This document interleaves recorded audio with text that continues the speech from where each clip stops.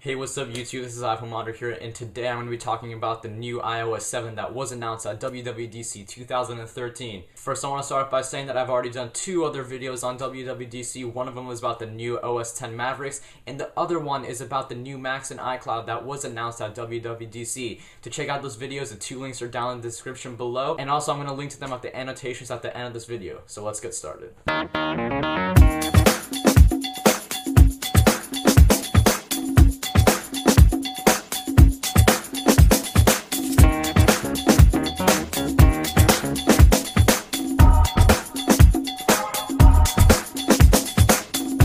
Guys, so just letting you know it's going to be kind of a long video because I'm going to go very into depth on iOS and talking about exactly what they announced at the keynote. So the first thing, which is a huge deal, is a completely new overhaul of iOS. So basically the new redesign, I'm going to include pictures on my right over here, and includes a lot of translucency, which you'll see it's kind of like omnipotent throughout the whole OS. A lot of menus that you bring up are actually translucent, so you can see what's behind them, and the color schemes kind of match each other too. Also, there's new icons, they're more flat, they're less uh, rounded, I guess, and they also look more modern and futuristic. And also, they pretty much redesigned every single stock app, including the calculator, the weather. The weather actually looks really cool, and the mail and everything like that. So it's really cool, and I think it's very great that they've actually redesigned the stock apps to fit the new Metro UI that they've kind of introduced. Also, another cool thing about the new redesign is that it actually tracks your eyes to provide a little bit of a 3D effect. This used to actually be a jailbreak tweak, which is actually kind of interesting because every software update, it seems that Apple kind of adopts some jailbreak tweaks or just some things from Android, which I mean makes sense because some of them are actually pretty good good to implement. But this was very interesting because actually gives you depth of field to your phone. So when you're looking at it and you turn it around, it follows your eyes and then you can kind of see behind the icons a little bit. So basically just provides better depth of field for your phone. And also, in my opinion, I think this looks a lot like Windows Phone, especially with a lot of the Metro UI that's going on in there and just the menus and how everything looks so translucent. Just in general, I have a Windows Phone, so I've been able to compare it. It looks a fair deal like Windows Phone, and I'm actually very happy about that because I enjoyed the Metro UI of Windows Phone a lot, and I did think it's something that Apple should adopt. Additionally, with your folders now, you can have multiple pages, so you can essentially swipe through the pages of your folders if you want to have a lot of stuff in one folder. And also, they've changed Notification Center a bit, so essentially what you can do is have something called Today View, where it gives you a list of everything that's going on today in your life and a little sneak peek of tomorrow. So for example, it'll say the weather and whose birthday it is today and etc. And also now your Notification Center is available from your lock screen, so you no longer have to unlock your phone in order to access the Notification Center. Alright guys, so that's for the new redesign, so let's just talk about some new things which are like their big 10 things that they announced for iOS 7. The first thing is called Control Center. So basically, if you guys have ever jailbroken your iDevice, it's a lot like SB settings. So essentially what it allows you to do is drag up from the bottom and you have that translucent menu. So it allows you to adjust things like brightness and allows you to turn on and off airplane mode. And also a really cool thing is they finally introduced a flashlight feature so you don't have to download those stupid third-party apps from the App Store in order to use a flashlight on your iPhone. Another cool thing that they've introduced is multitasking. And this multitasking is non-limited. So it is unlimited multitasking.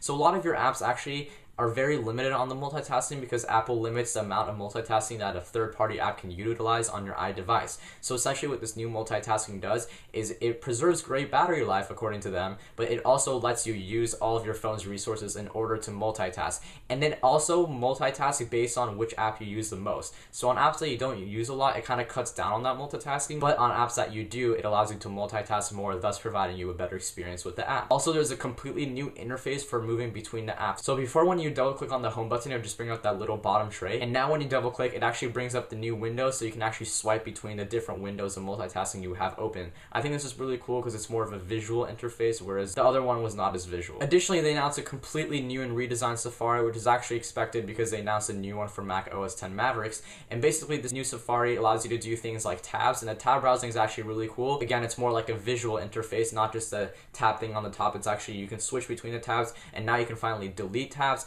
and also this has integration with iCloud Keychain. So basically what this allows you to do is just save the passwords across your different websites. And if you want to know more about iCloud Keychain, go check out my Mac OS 10 Mavericks video and the links down in the description below. Also, they've introduced parental controls, which aren't that big of a deal. And they've improved the bookmarks, so it's easier to bookmark something and just click it once and it's bookmarked. And they've introduced shared links to the iOS version as well, in addition to the Mac version, which essentially allows you to see what links your social media friends have shared. And also now you can use Safari on your reading list on your iOS device. And in addition to the new tab interface, the new Safari actually allows you to sync tabs across all of your different iOS devices, and you can just reorder your tabs by tapping and holding instead of having to have them in a specific order. Now you can finally reorder them. Alright guys, so the fourth thing that they introduced was AirDrop. So if you guys don't know, AirDrop is a thing where it allows you to share files amongst different Macs, and I think you do need a Wi-Fi network for this to work, but now they've actually introduced it for the iOS devices. So this uses peer-to-peer Wi-Fi networks, and it allows you to share anything, videos, pictures, files, anything. But unfortunately, it's only supported on the iPhone 5, iPad mini, iPad 4th gen, and iPod Touch 5th gen.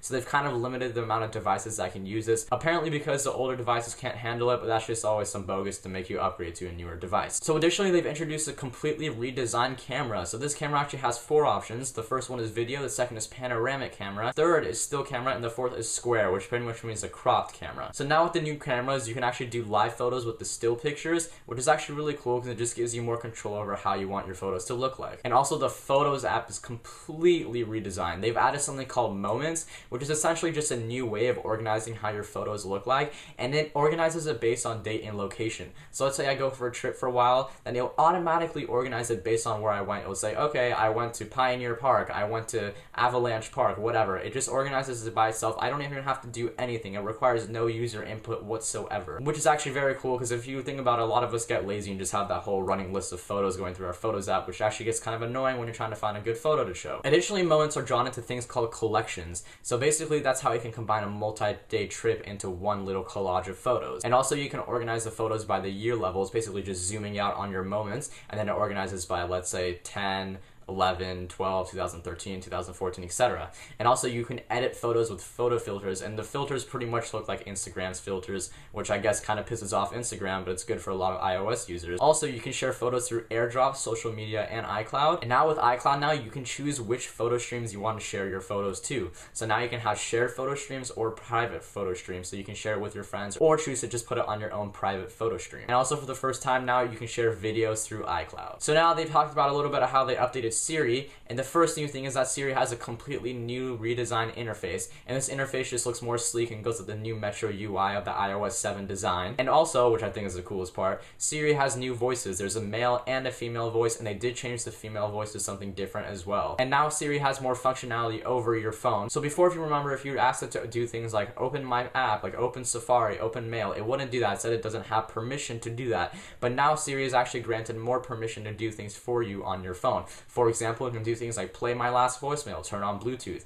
increase my brightness, etc. And also it can answer more questions now because it has a search base of Twitter, Bing, and Wikipedia. So now it can search things a lot better. One of the coolest things in my opinion that they talked about was iOS in the car. So basically now iOS starting from about 2014 mainly, a lot of car manufacturers such as Mercedes-Benz and BMW, Infiniti, etc. are going to start to integrate iOS into the screen of your car. So basically you can use your eyes free car navigation using Siri. And this is basically just to integrate Siri more on the car. It allows you to use things like maps, music, phones, and messages. So you can basically just say the message you want Siri to display, or say the directions, or say the call you want to call. So this is actually very cool, and they will start introducing this, like I said, in 2014. Also, they just talked about a little bit of new tweaks and updates to the App Store. So there's like new ways of finding apps. So basically now you can search for the apps that are most popular in your location, so in your city, which is actually kind of interesting, I guess. You can search what people around you download the most, and what's most popular in your city and your area. Also, you can search best app for kids and things like that. And the main feature they added, which is actually really cool, is now the App Store updates your apps automatically without any user input. So you don't have to do anything, type in your password, go check what it says,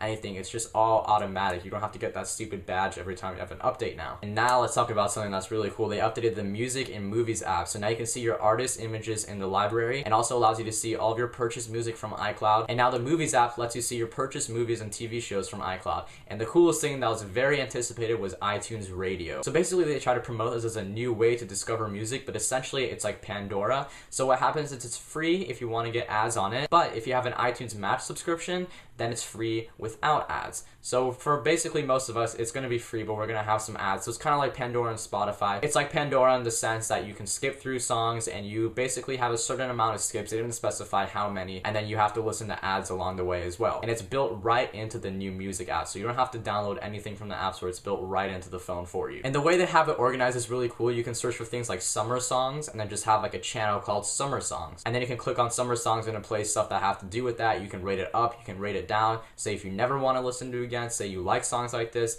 then it basically tries to get a taste of what you like and recommend songs for that taste. So they use the example of creating a station of Led Zeppelin where it played Led Zeppelin songs, Rolling Stone songs, Beatles songs, just stuff like that. And it basically just tries to get an idea of what you like and you get to listen to the full songs and everything too. So basically it's just a cool way to discover new music without having to actually buy the song. So your iTunes radio is going to be built into your music app or your iTunes on your Mac, PC, iOS, and Apple TV. So guys, that's pretty much it for the main things they announced. I'm just going to talk about some of the small things because those things kind of get overlooked after the conference. So one of them is FaceTime audio. So now you can make high quality audio only calls instead of also having to have FaceTime video calls. So yeah, this basically just allows you to make as many calls as you want for free and it's only audio so you don't have to worry about having to FaceTime and all that. Also, they announced phone, FaceTime, and message blocking. So if someone's pissing you off or annoying you, you can just block their account or block their number immediately. Also, they've announced something called activation lock, which I actually like a lot. It's basically to deter thieves from stealing your phone. So once they steal it, even if they wipe it out, if they ever want to activate your iOS device again, they're going to actually have to have your account login information to activate it. So basically, this just makes it harder for them to gain access to your iOS device once they have stolen it. Okay, so the iOS 7 beta for the iPhone and iPod Touch is available today, and they said that for the iPad it's going to be available a little bit later. But for the public, this whole thing is coming out in the fall, likely with the announcement of the new iPhone. So basically, just so you guys know, the devices that support the new iOS 7 are the iPad 2 and later, so iPad 2, iPad 3, iPad 4, the iPhone 4 and later, which includes the 4, 4S, and 5,